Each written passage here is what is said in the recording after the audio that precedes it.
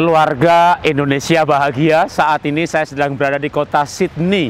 Dan dari Australia saya ingin menyampaikan inspirasi serial quote pernikahan zaman now. Apa sebenarnya yang membuat orang itu sulit untuk minta maaf? Maka sebenarnya adalah egois, sombong, ego yang terlalu tinggi untuk bisa minta maaf. Belajarlah untuk mengalahkan ego, karena kalau ego ini dikuasai, maka sebenarnya tidak ada perbedaan, perselisihan, permasalahan yang tidak bisa diselesaikan. Sering orang minta maaf karena takut nanti kalau minta maaf malah disalahkan. Buanglah ketakutan itu karena kenyataannya melaporkan, surveinya melaporkan ketika ada orang minta maaf, maka hati yang keras dilembutkan, relasi yang putus disambung kembali. Ada kuasa yang luar biasa di dalam permintaan maaf.